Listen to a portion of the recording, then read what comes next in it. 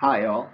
Uh, as you know, this week is about uh, a little bit about researching in technical writing, and uh, included in that is not just researching about technical topics, uh, but also researching about what technical documents might look like and what who our technical audiences might be. Right. So we're going to talk today about identifying, locating, and evaluating the source material. Just really quickly, here we go. So think about research as part of your problem solving approach, right? We're solving problems for specific audiences. So most technical writing begins with problems, not solutions. In other words, there is a problem your document needs to solve. Now you might have the technical solution to that problem, but your job as a technical writer is to solve the problem of what that document needs to be in order to get to solve that problem for that specific audience. So encountering a question that needs answering helps the researcher define a clear purpose. So our purposes are, are different depending on what problem we're trying to solve. Are we trying to actually solve the, the workplace problem through our research, right, to find out what we should do? Are we trying to solve rhetorical problems uh, about the audience or the document? So what is the problem this document will solve? Why is it needed? The specific audience shapes what research is necessary and how that research is presented and discussed. Who will use this document? What do they need? What do they already know? How will they use the document? When and where will they use the document? So think about something like signage.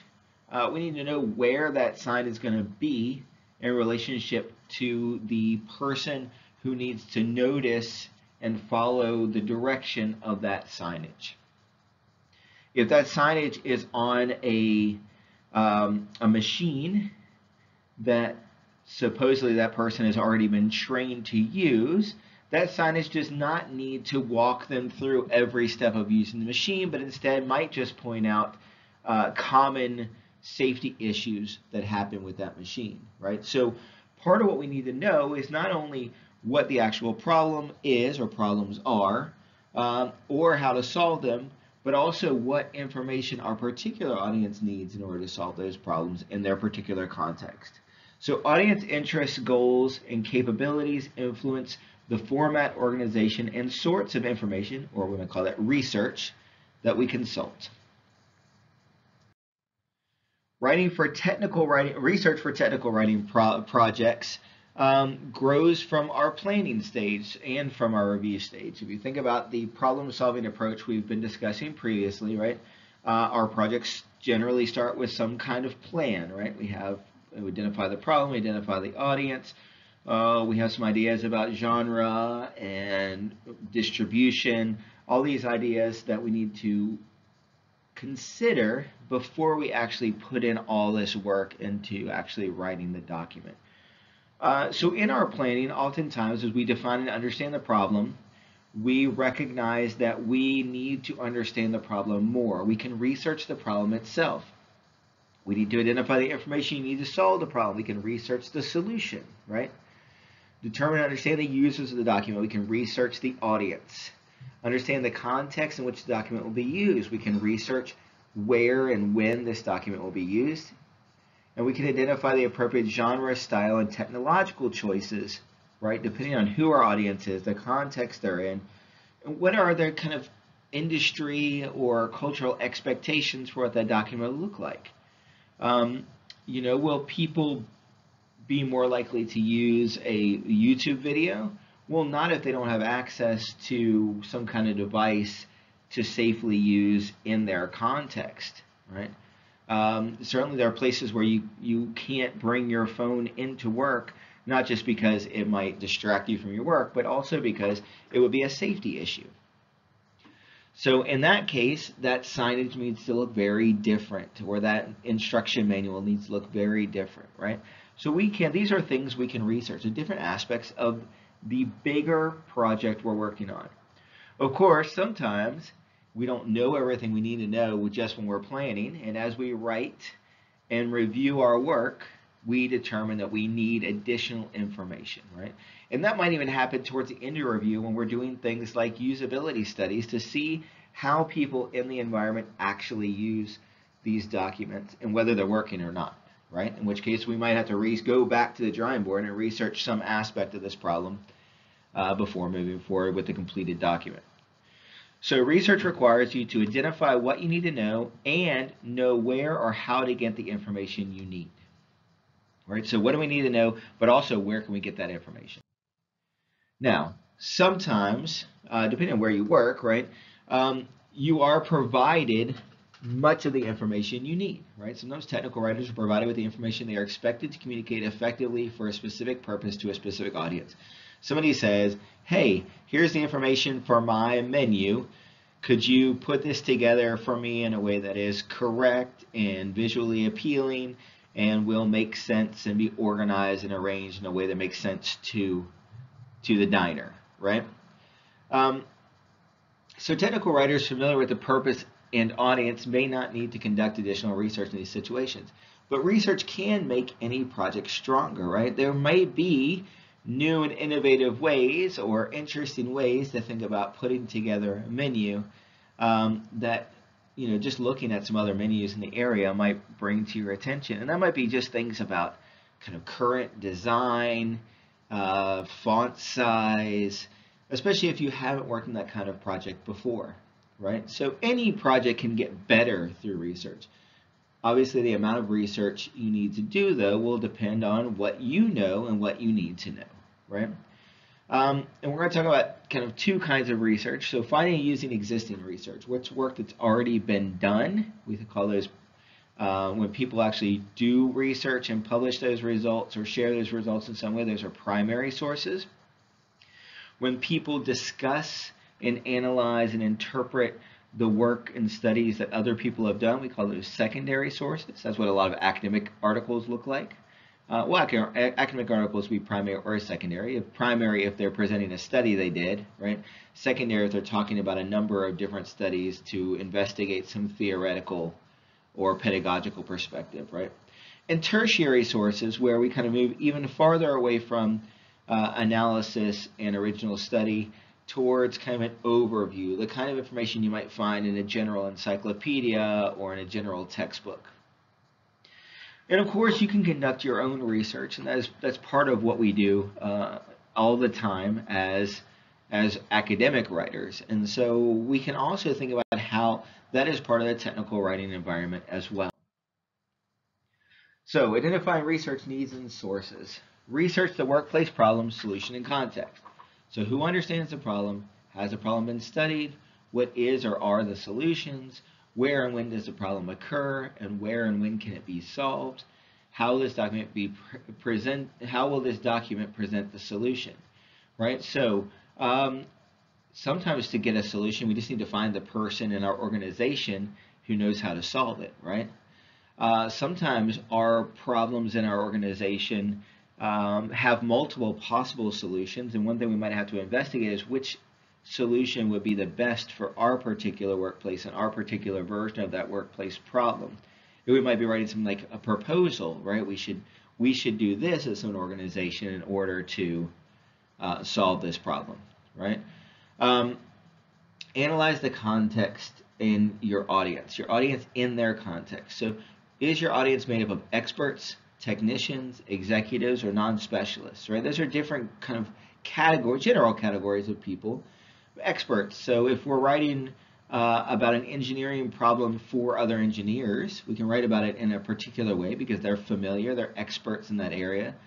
If we're writing about an engineering problem for technicians, we need to write about them those problems within the context in which those technicians actually work. They know quite a bit about the practical job they do that applies perhaps uh, engineering ideas that they are not familiar with from a theoretical perspective, right? So how can we tailor the message for people who do the work that is technical but don't necessarily understand the work behind why they do that work, right? Executives, these are generally speaking uh, business people who may be really familiar with some aspects of their environment, their work environment, but are focused not on the technical or expert aspects, but instead on running the business, right? Uh, they have different needs depending on who they are. Were they engineers before? Were they technicians before? Uh, you know, what is their background in particular? they might even be non-specialists, right? And so a large uh, body of technical writing is actually taking rather technical information and producing it in a way that non-specialists, that's people that have no real, um, nothing beyond kind of common knowledge, uh, awareness of the information that we're communicating to them, right? Why it's necessary or what it actually means. So what do they know? What do they need to know? What interests them? Is there a way we can get them to pay attention to our message or to want to engage with our message? What is their work setting? How are their demo, what are their demographic characteristics? How will they use this document? And discover expectations for form, style, and distribution. Does the organization have a style guide or similar publications, right?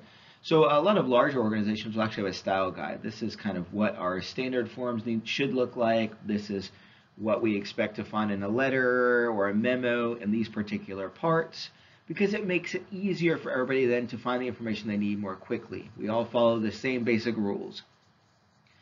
What are industry, of course, if they don't have a style guide, they may have similar publications, right? So maybe they don't have a style guide that says all of our reports of this kind look like this. But if you look at all the reports people write, they all look the same, right? Uh, and that's a way, right, that there's not necessarily a style guide, but a way for us to find similar publications to guide our own work.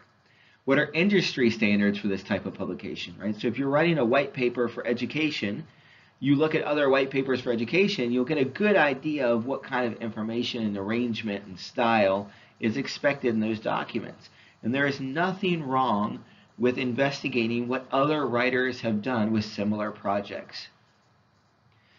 Are there other writers who are composing similar documents? Right? Those other writers might be people in your own organization who work on similar projects. Uh, and that's a great resource, especially if you're new to an organization, right? What, are, what are the people there already doing? How can you add to or reinforce the, that work? Um, but also maybe in the in the broader context of the whole field, kind of what are other writers doing when they do this kind of work for their organizations? Does it work? Is it effective? What can what kind of approach can I borrow from that work? What approaches do I want to avoid because I don't find it to be effective in that work, right? Ultimately, of course, how will the document be distributed? That's going to define a lot of what you what, what your actual presentation is going to look like, right? If what everybody's going to get is a book, then you don't have to worry about things like audio and visual representation. Of course, you could have some visuals in the book, right, which may be very important, um, but no videos, right, or recordings. Those things are all going to guide kind of our work as technical writers. So let's think about primary sources. What are primary sources? The primary sources are original materials on which other documents are based. They are the first formal appearance of results in print or electronic documents. They present information in original form, not evaluated, summarized, or interpreted. I mean, they may have sections that interpret the results, right? But they're not in, in and of themselves just evaluations or summary, summaries. Uh, they present original thinking, report discoveries, and share new ideas. There are lots of kinds of documents that count as primary sources, but a lot of those things you'll find archival and manuscript material, photographs, audio recordings, video recordings, films, journals, letters and diaries, speeches, scrapbooks, publications that are published in the moment. Think about like uh, newspaper articles, not editorials, but the articles that actually record like this is what happened, right?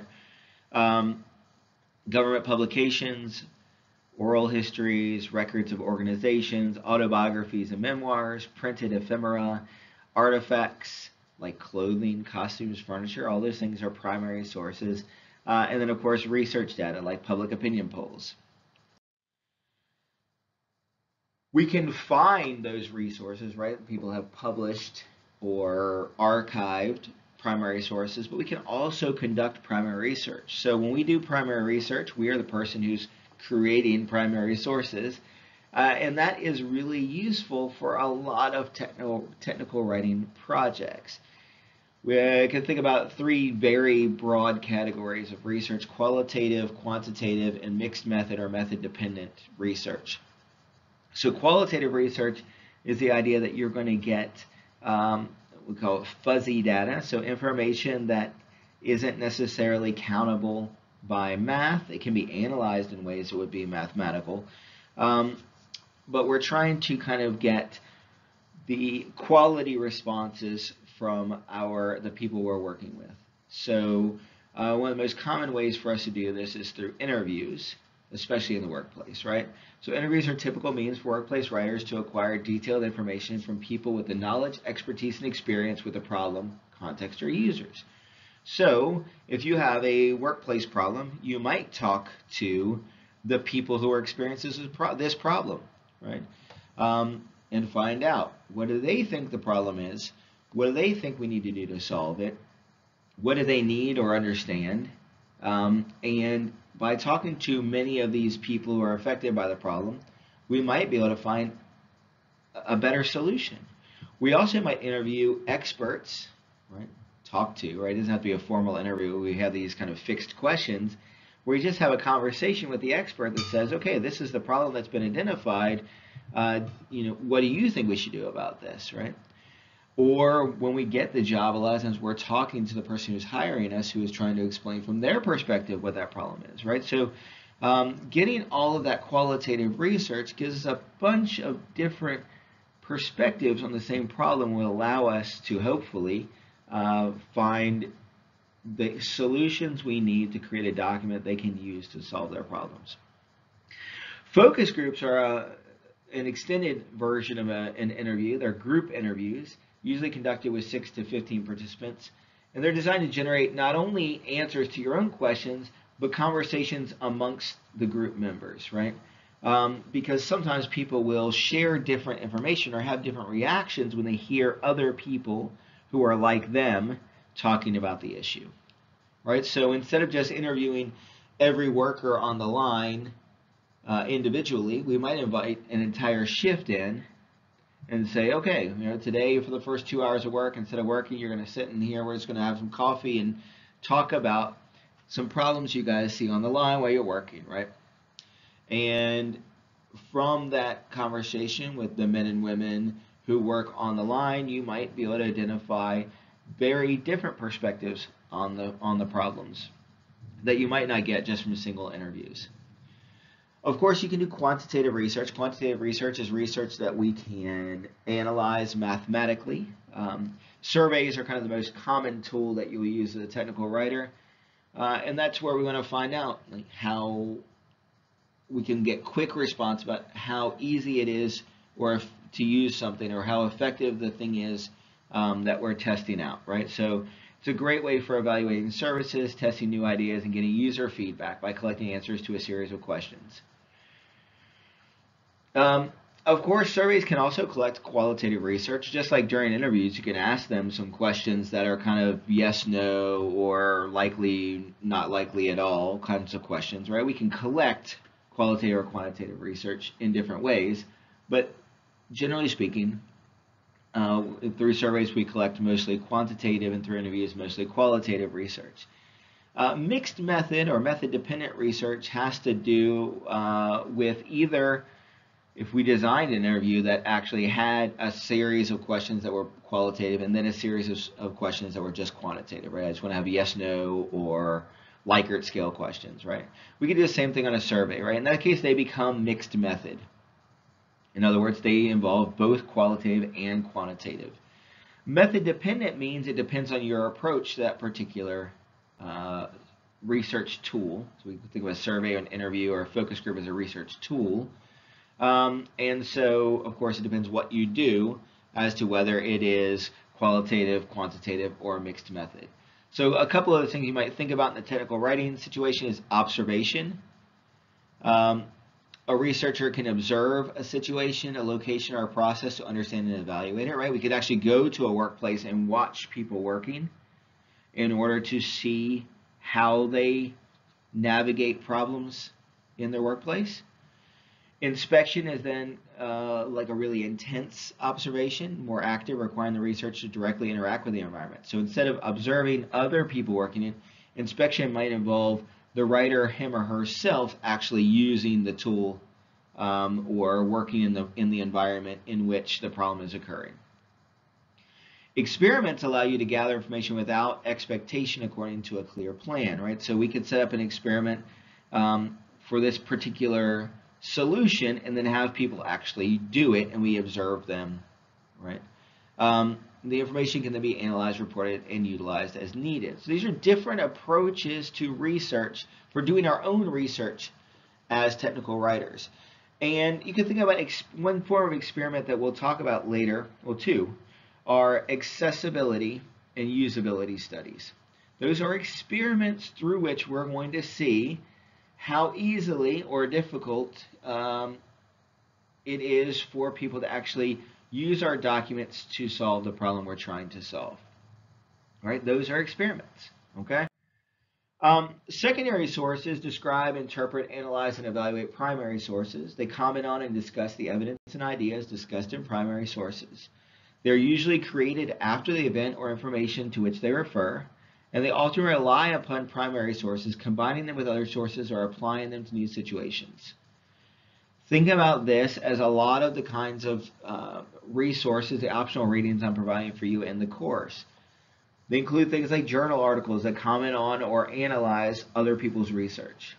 They're books that interpret or analyze. It's political commentary, right? Talking about like this is what I see, you know, all these things actually mean. Biographies. Remember in this primary autobiographies, people writing their own stories. In secondary sources, biographies, people writing other people's stories. Um, a lot of dissertations, right? At least uh, or master's theses will have that section to literature review. That is a perfect example of a secondary source, right? You're trying to pull together all its information and analyze it uh, to, to draw, kind of find themes and connections across that information. Newspaper editorials and opinion pieces, criticism of literature, artworks, or music, right? These are just some examples. So, how is this helpful for a technical writer? Well, a lot of solutions to problems have been identified in primary source studies, and then they are critiqued perhaps at the secondary level, right? By looking at those critiques, you can save yourself a lot of time and effort in trying to look at all these different, trying to identify all these different primary studies, and instead find a secondary source that says, here's a bunch of primary studies that tried to solve this problem, here's the one we think works best and why, right? Um, it can save you a lot of time to start with secondary sources and work your way back to primary sources that might be useful. Tertiary sources are sources that index, abstract, organize, compile, or digest other sources. They're often reference materials and textbooks whose chief purpose is to list, summarize, or simply repackage ideas or other information they're usually not credited to a particular author, right? So think about something like an encyclopedia. There's not, uh, in a general encyclopedia, there's not usually an author on each um, entry. Now, if you get a really specific kind of encyclopedia of 20th century American literature, right, it might actually be a collection of secondary sources. But we're talking more about tertiary sources, those more general things. Think about Wikipedia. Wikipedia is a great example of a tertiary source. It doesn't actually do new research like a primary source. It doesn't really talk about what that research means, which would be a secondary source. Instead, it just kind of collects and gathers that information and gives it to us as, as readers. Uh, so they include various documents such as dictionaries and encyclopedia, encyclopedias, which may be secondary, almanacs, fact books, Wikipedia, bibliographies, uh, which lists of sources, right? They may be secondary if they include interpretive uh, information. Uh, directories, guidebooks, manuals, handbooks, and textbooks, which also may be secondary if they have, once again, um, it depends how specific textbooks are, right? If they're a general resource introduction kind of level, or if they are books we use for really specific uh, courses, as well as indexing and abstracting sources, right? So abstracts are kind of where they just say, like, this article is about, right? That's what an abstract does. And indexes are where those are organized in some way so you can save you the time of having to read a bunch of articles. You can instead use that index, which gives you a really short abstract, um, to see if those things relate to your work, right? So part of uh, doing research, though, is of course evaluating the quality of those sources. So the real trick for writers and researchers is not just finding sources, but evaluating them for trustworthiness and accuracy to ensure they are using reliable sources, right? It doesn't do you any good to find a bunch of sources that aren't accurate because then your work that you derive from those sources is not accurate, right? So when evaluating research sources and presenting your own research, be careful to critically evaluate the authority, who is writing this and for what purpose, right? Uh, where is it being published? Those kinds of things. Authority. Content is what is being presented. Um, both does it seem factual, and is it reinforced uh, with things like citations, right? Is it connected to the wider conversation around that issue? And purpose of the material, right? Is this something that's published by an industry that wants to promote the use of its products? Um, or is the purpose uh, to take an external view of something, right? There are different kind of issues of reliability we can look at. So there's clearly a connection between where you find sources and the likelihood of their being reliable. So please make sure you pay attention uh, not only to who the author is and what they're saying and what they're trying to accomplish, but also um, what publications present this information and are those publications in and of themselves reliable. As we're locating sources, of course, we can locate sources in our workplace, right? Who are the exp experts? Who are the technicians? Who are the executives? Who are the other writers there? And what, who are the other employees there, right? One of our greatest resources as a workplace writer is the other people in our workplace.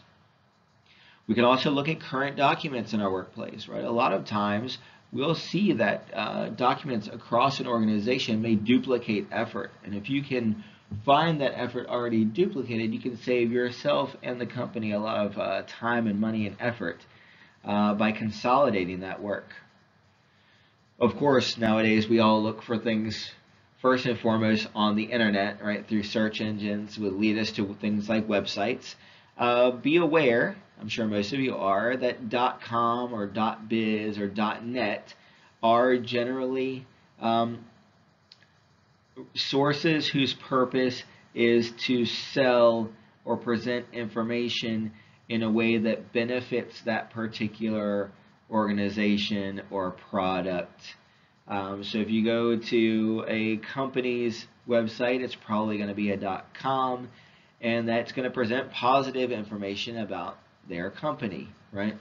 Um, .org then includes some organizations that might be presenting positive information about themselves, but also includes um, perhaps information that looks as an external organization at other issues.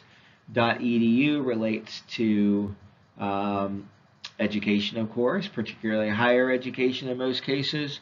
Uh, the UL, because a lot of um, K-12 schools will have a .us at the end, their government um, sites. And .gov is your primary federal government sites. A lot of reliable information on those sites, right? Uh, be aware that there's a difference between blogs, which are web logs or diaries, basically. That's how they started. But there are blogs that are written by experts, and there are blogs that are written by casual users. You have to be aware of who is writing what they're writing and why they're writing it, and why it's published on a blog on the internet and not in a reliable publication. Doesn't mean that information isn't useful. It just means it's not useful on its own. We need to be able to verify that information. Uh, Wiki is very much the same way. So something like Wikipedia can have a lot of really useful information, but because wikis are written by the users who use them, it means some of those people aren't authorities in their area to write about these things and that things are changeable in ways that traditional publications are not. So once again, doesn't mean the information is bad, it just means we need to verify it. So things like blogs and wikis, uh, things like .com sites are things we generally will not cite in academic work. Now it doesn't mean we can't reference it for ideas, but they are things we need to be really careful about uh, and find reliable sources that give us similar information in order to use that information in our work as academic writers. Now, technical writers, it depends on your industry. There may be blogs and wikis that are related specifically to the industry in which you're working that are some of the best information you can find. Uh, and you might have, some of you might be writing for .com websites, right? Uh, then we have kind of two other kinds of sources, and these are things we relate more to traditional research, databases. So if you go to our university library site or the university library site where you're currently working, you will see a list of databases to which you have access, and databases are just collections of quality information that you can search. Kind of the same way you might go to the library traditionally. I don't know how many of you are this old, and actually look at a card catalog to find different uh, different books about a similar subject or by a similar author.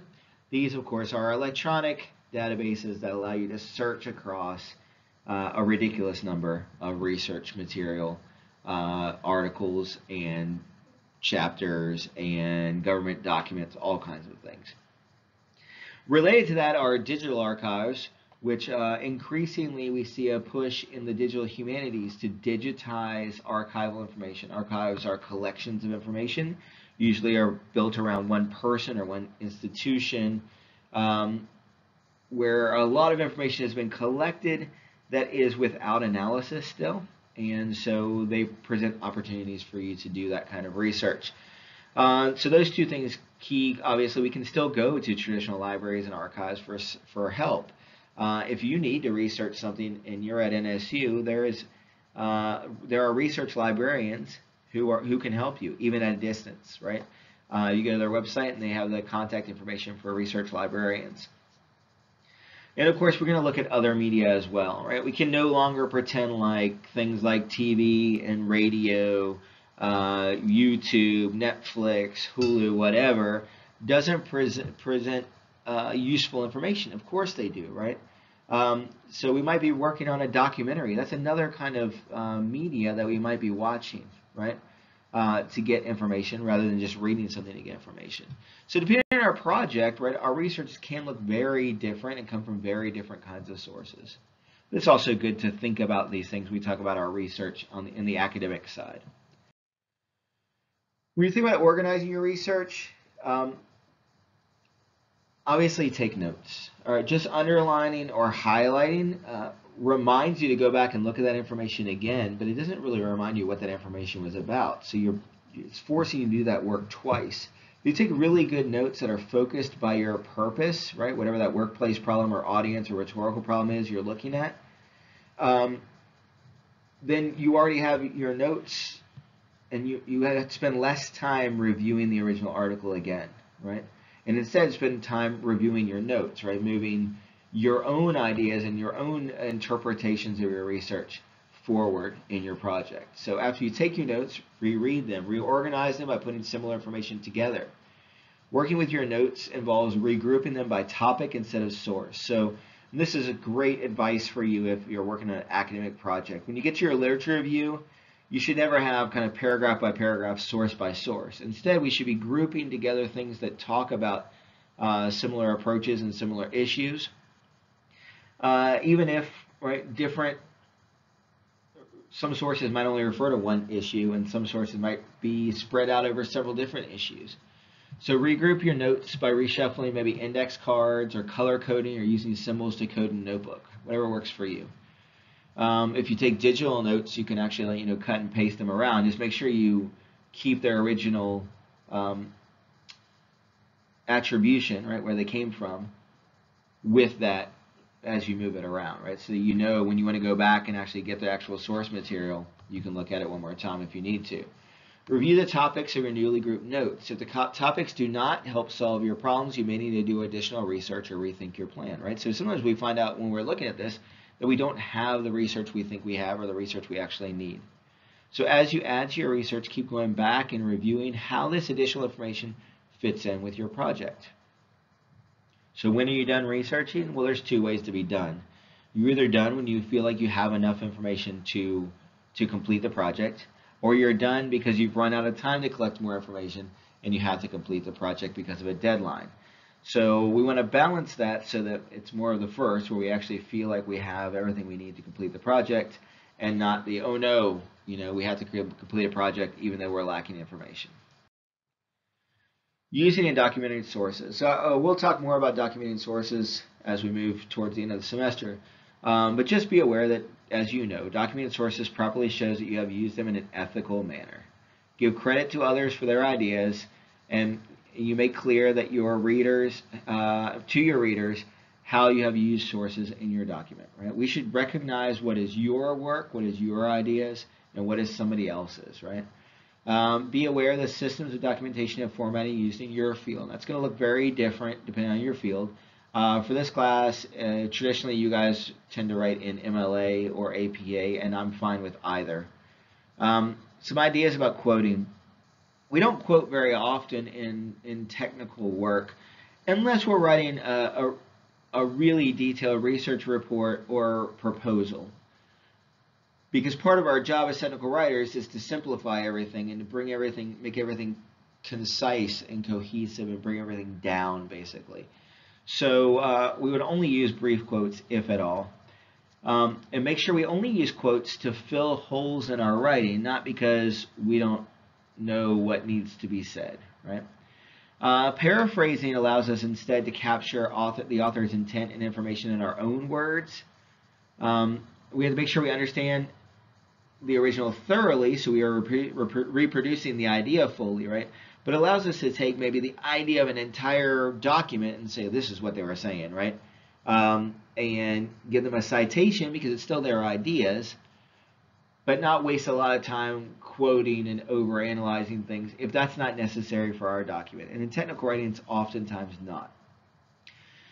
Uh, summarizing, right, is abbreviating information without compromises, meaning we have to make sure we cover all the points made in the original. So, um, and one, one kind of writing that we'll talk about is the technical summary. We'll get to that, and it's the idea of um, the executive summary is something that maybe executives, we do for executives, so they don't have to read the entire piece, but they need to fully understand it, right? Um, and it allows us to take not just like the main idea, like we might with paraphrasing, but to actually summarize all the ideas in a really tight, compact format uh, that saves people time while still giving them the information they need. Just really quickly about plagiarism in technical writing. Plagiarism is defined simply as the act of passing off as one's own the ideas or writings of someone else, right? If you pretend like the work you're doing is yours and you've borrowed it without attribution, you are plagiarizing. Writers are guilty of plagiarism when they submit documents that borrow ideas, structure, organization, or wording from other sources without properly documenting it. Right? Uh, we can and should do research, but we can and should show that we've done that research in a variety of ways. It's going to look very different depending on uh, what kinds of documents you're working on. But when you're working on longer things like reports, and you'll see these on government websites, um, they oftentimes have citations in them and works cited at the end.